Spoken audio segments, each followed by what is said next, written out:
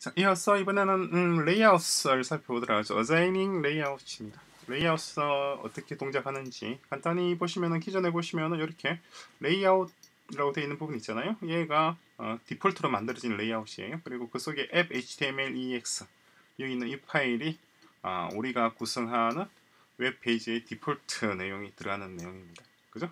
그리고 그리고 이제 여기다가 여기 보시면은 밑에 render view module view template assign이라고 하는 부분이 있잖아요.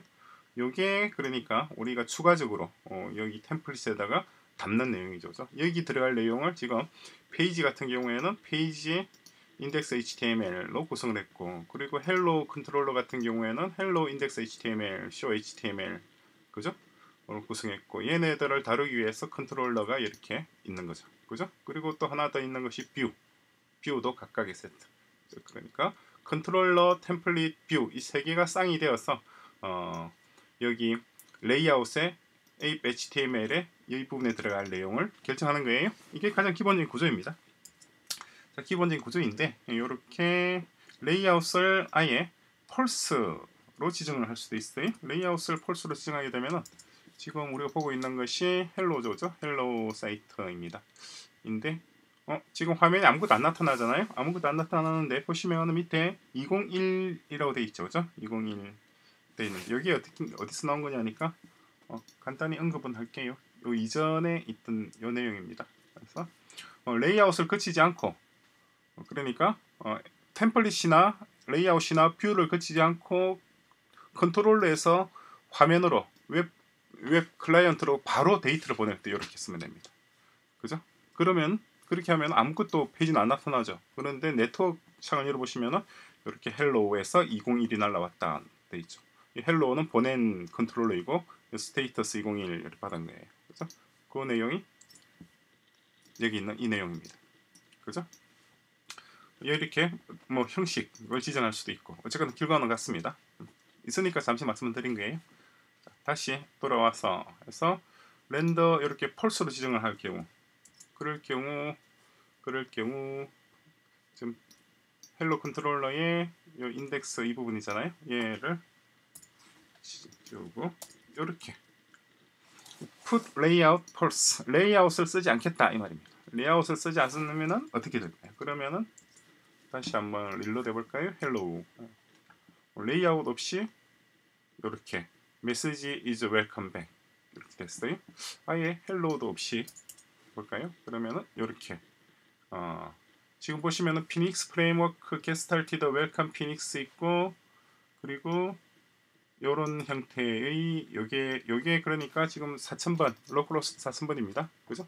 그런데 여기다가 만약에 요것을 떼서 여기 들어가는 것이 아니라 페이지 컨트롤러로 들어가죠.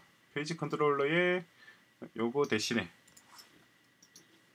요걸 넣게 되면은 이렇게 해서 reload 해볼까요? 달라진 점 이렇게 됐습니다. 그냥 레이아웃을 쓰지 않으니까 이렇게 된 거예요. 그죠? 그러니까 뭐, 뭐 다른 거 없이 이렇게 나타나는 거죠. 레이아웃이 하는 역할 레이아웃이 여기 레이아웃도 하나의 그냥 템플릿입니다. hello와 마찬가지로 템플릿이에요. 그러니까 레이아웃도 view가 있어야 되겠죠? 레이아웃 view. 그죠? view와 템플릿이 쌍으로서 움직이는 거니까. 그래서 view에서 얘를 보내줘야지 얘를 가지고 템플릿이 각자 자기가 원하는 걸 표시할 수가 있죠. 그죠? 자, 이렇게 되고 그리고 이번에는 음, 레이아웃을 할 때 주의해야 될 점 이렇게 했습니다. 괄호를 쳐야 됩니다. argument가 하나 있다 하더라도 괄호를 표시를 해야 돼요. 원래 Elixir는 괄호를 안 써도 되잖아요. 그죠? 그런데 파이프라인의 경우에는 이렇게 괄호로 쳐주는 것이 예, 맞습니다. 안 그러면 에러가 떠요. 자 이번에는 이 라인을 없애버릴까요? span class logo. 그죠? 요걸 없앤다 없앤다. 이걸 없애고 어, admin HTML이라고 하나를 만들어 보자는 거죠. 그죠? 로고를 없앤 span class logo. admin HTML이라고 하는 레이아웃을 만들어 보자는 거죠. 레이아웃을 바꿔보는 겁니다. 레이아웃을 바꾸는 것. 레이아웃에다가 새로운 레이아웃 admin 점 음, html.ex 하는데 여기는 app HTML에 있던 내용을 그대로 복사를 해서 admin에 넣되 뭘 없앴나요? 로고를 없앴죠, 그죠? 로고. 로고 로고 로고 로고가 어디 있나요? 못 찾겠다. 아 여기 있군요. 여기 로고. 얘를 없애는 형태로 새로운 레이아웃을 만든 겁니다. 다른 레이아웃. 그리고 지금 이제 또 이렇게 admin HTML을 불러서 보고 싶다. 그러면 그러니까 접속하는 사람에 따라 다르긴 하겠죠. 접속자가 어, admin이다. admin에게는 이런 레이아웃이 admin HTML인 걸로 보여주고 싶다. 이렇게 풋 레이아웃이에요. 풋 레이아웃이고 조금 전에 있던 것을 지워버릴 게 아니라 어, 이것도 살려놓고 비교를 해보시게 비교할 수 있도록 이렇게 하죠.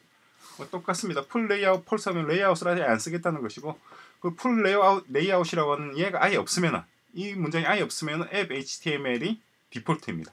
기본이에요.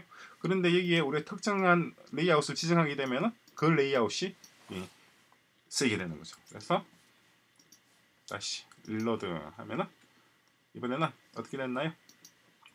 뭐 그대로네. 그러니까 음 그러네. 우리가 지금 hello controller에 와서 이러고 있네. page controller 여기 와서 이렇게 하죠. 뭐 hello controller나 page controller 어디서 나도 상관없습니다. page controller도 똑같은 효과가 나타날 거예요. 어. 자, 하면은 이렇게 위에 로고가 없죠. 로고 없이 나타나고 여기 마찬가지 hello controller 로플로도 똑같이 이렇게 되죠. 그럼 hello controller와 어, 차이점 뭐예요?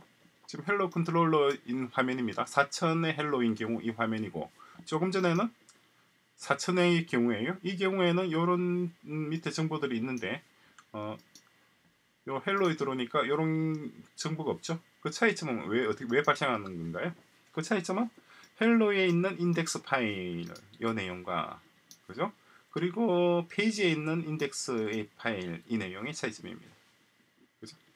그러니까 페이지에 인덱스 파일이 있는 내용 그게 요, 하, 요 화면 여기 이 부분이에요. 이게 그죠? 페이지 인덱스에 있는 내용이고 헬로의 인덱스에 있는 내용은 요거밖에 없단 말이에요.